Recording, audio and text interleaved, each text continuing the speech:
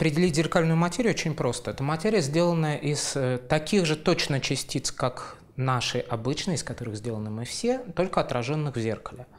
А отраженных, э, в которых правая и левая сторона поменены местами. Если взять наш обычный повседневный мир, то в первом приближении он кажется несимметричным относительно отражения в зеркале. Люди там больше являются правшами, чем левшами, сердце с одной стороны э, у людей, люди, у которых сердце справа встречается, но очень редко.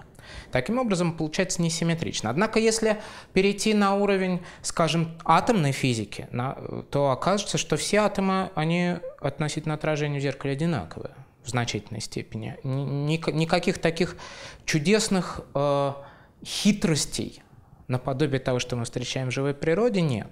Теория элементарных частиц которая была построена в, начиная с 60-х годов 20 века и которая до сих пор является самым совершенным э, и самым лучшим описанием элементарных частиц, стандартная модель, она оказывается э, относительно правого и левого не э, симметрична.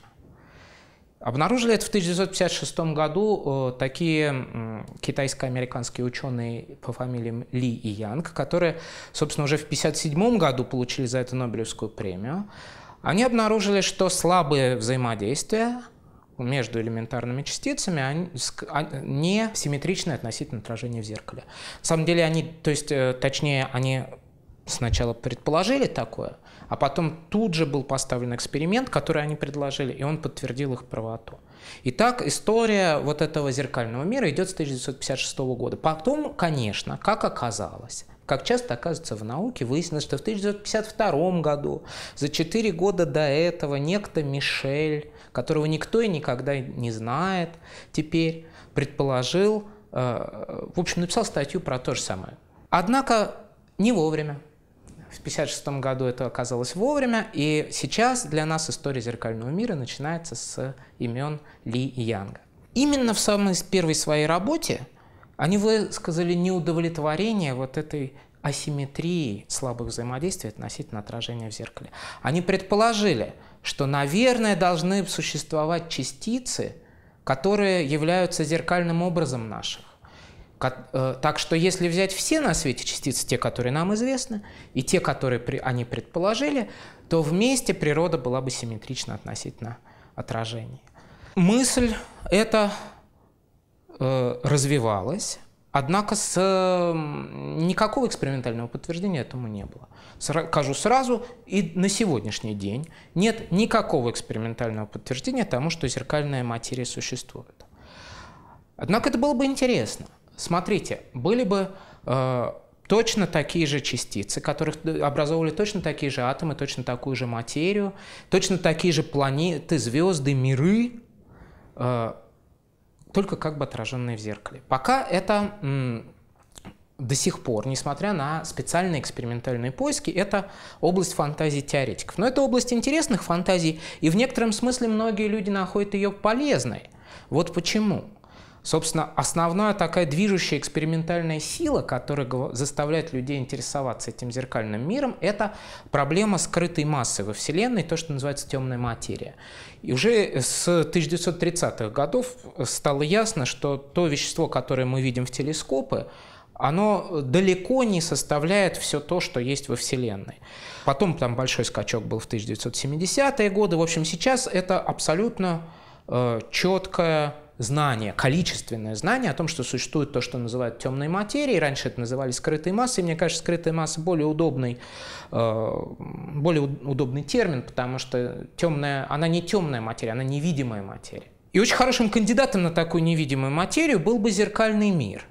Потому что по построению этой теории те частицы с нашими никак не взаимодействуют в первом приближении, за исключением чего? За исключением того, что они тоже массивные и значит притягиваются гравитационно. Как раз лучший кандидат на эту невидимую темную материю. Она притягивается, она влияет на гравитацию, но мы ее не видим никак и никак не регистрируем. Замечательный, неуловимый Джо.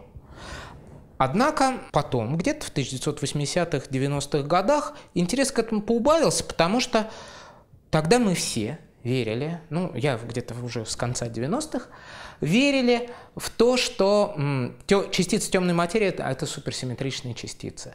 Почему-то люди, вот я знаю очень уважаемых людей, которые говорили, это широкая столбовая дорога, сейчас запустит большой адронный коллайдер, на нем найдут суперсимметричные частицы, это будет темная материя, мы будем ее изучать. Говорилось, что в течение первых нескольких часов работы Большого адронного коллайдера эти частицы будут найдены. Этого не случилось. Ни часов и лет прошло несколько. Э, суперсимметрии не обнаружено, люди в нее, в общем, сейчас потихонечку перестают верить. И интерес обращается к другим э, моделям, которые предсказывают что-то такое э, невидимое, что-то такое притягивающее гравитационно, но э, не взаимодействующее другими способами. Зеркальная материя в том виде, в каком она есть, она не очень хорошо определена, потому что нету конкретной какой-то такой стандартной теории того, как этот зеркальный мир должен быть устроен. Либо он э, точная копия нашего, а может быть нет. Почему бы он должен быть точной копией нашего? Ведь темной материи больше, чем видимой. Наверное, эта симметрия каким-то образом все-таки немножко нарушена. Раз она каким-то образом немножко нарушена, то есть разница. И за счет этой разницы частицы зеркального мира могут давать о себе знать. Например, я расскажу только о двух таких э, одном теоретическом, другом экспериментальном построении, которое э, очень интересно.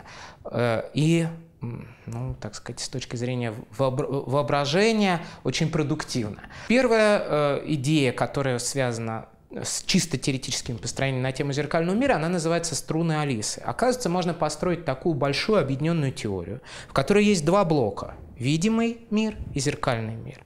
Теория очень красивая, очень симметричная, но как-то эти два мира сосуществуют и взаимодействуют тогда в рамках этой теории не только через гравитацию, но и через какое-то новое объединяющее взаимодействие, которого мы пока не видим и вряд ли когда сможем увидеть. Тогда э, в них существуют такие экзотические объекты, которые ну, похожи на какую-то такую линейную структуру, которая тянется где-то во Вселенной. Если вам удается ее облететь, то, о ужас, вы возвращаетесь отраженными в зеркале. Если электрон облетает ее, то возвращается не он, а зеркальный электрон. И э, вот э, это название, вот эта вот струна Алисы, Алисы в зазеркалье.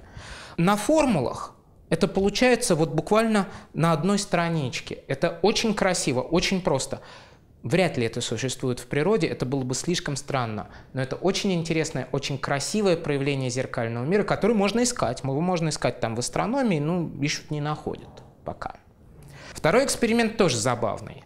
А, он, правда, э, работает для совершенно симметричного мира он не работает. Он работает для такого мира, в котором зеркальный фотон чуть-чуть массивный. У нас фотон, как известно, он э, симметрии нашей теории, они запрещают иметь массу фотона, и все экспериментальные данные говорят о том, что фотон наш обычный, который ответственен за электромагнитное взаимодействие, он э, у него строго равная нулю масса. Иначе жить было бы труднее. Если допустить, и такие модели есть, что в зеркальном мире его дружок фотона, зеркальный фотон, э, массивный, то могут происходить очень интересные и чудесные вещи. Э, впервые на них обратил внимание в 1984 году э, советский физик Окунь, хорошо известный своими книжками, лекциями и так далее. Он заметил, что луч света, состоящий из фотонов, коль скоро у нас имеется вот такой зеркальный мир, он будет э, распространяться своеобразно. Иногда э, часть этих э, фотонов обычных будет превращаться в, как он их назвал, парафотоны, фотоны зеркального мира, вот эти массивные. И поэтому возможен такой совершенно простой, удивительный по своей простоте эксперимент, который, однако, в реальности на требуемом уровне точности поставить очень сложно. Это эксперимент типа свет сквозь стену. Мы берем источник света и ставим стенку. Смотрите, здесь, пока у нас шел свет до стены, часть фотонов превратилась в парафотоны. Фотоны, естественно, об стенку ударились и дальше не пошли. А парафотонам, они же зеркальные, а стенка нормальная, не зеркальная. Им стенка ни по чем, они с ней не взаимодействуют.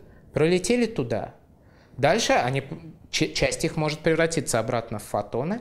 И здесь э, просто достаточно поставить фотоаппарат, и мы увидим через стенку очень слабенькое изображение нашего источника. Такие эксперименты ставятся, но, как оказалось, вероятность э, такого процесса настолько мала, что нам нужно иметь огромное-огромное количество фотонов для того, чтобы э, ну, иметь надежду хоть что-то увидеть здесь, за стенкой.